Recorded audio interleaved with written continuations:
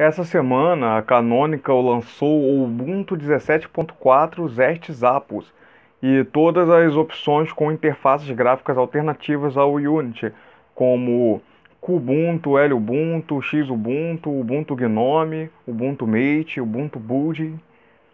Dessa vez, grande parte dos usuários passou a prestar mais atenção no Ubuntu Gnome após as últimas revelações da Canonical sobre o fim do Unity, do Mir e do Ubuntu Phone. Na próxima versão LTS do Ubuntu, o Gnome voltará a ser a interface gráfica oficial padrão do Ubuntu. Essa será a última versão que terá a interface Unity como interface padrão.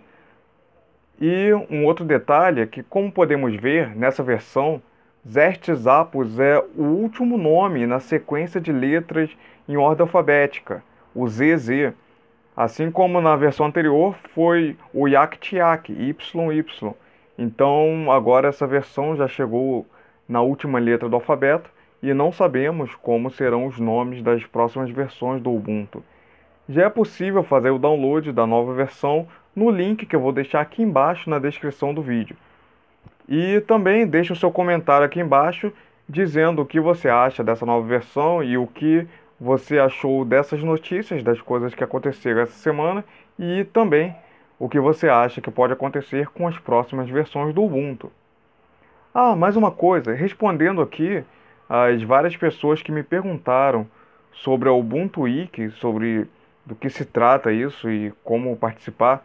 A Ubuntu Wiki, para quem não sabe, é um treinamento online totalmente gratuito com foco total no Ubuntu 17.4. Esse treinamento grátis é um workshop com duração de 7 dias de imersão total no Ubuntu Desktop, que vai incluir conteúdo tanto para iniciantes quanto para usuários mais avançados. As inscrições ainda não estão abertas e a data do início desse evento ainda não está definida deve ser entre segunda, terça ou quarta-feira, na semana que vem. Ainda estamos decidindo isso e criando material que vai ser disponibilizado no final de algum dos próximos vídeos.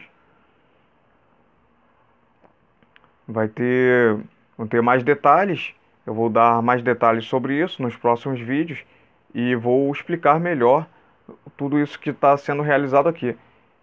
Ah, e outra coisa, no blog no blog ninjadolinux.com.br, tem um campo onde você pode colocar o seu e-mail e quem tiver cadastrado lá vai receber as novidades do blog e do canal antes delas serem divulgadas abertamente. Então, se você quiser receber as, as atualizações e ter as informações antes de serem publicadas, deixe o seu e-mail lá. Eu não vou ficar mandando spam nem nada desse tipo, vai ser um e-mail ou outro de vez em quando, com informações que eu considero relevantes para todos vocês que me seguem. Então é isso, pessoal. Obrigado por assistir esse vídeo e até o próximo vídeo. Tchau, pessoal.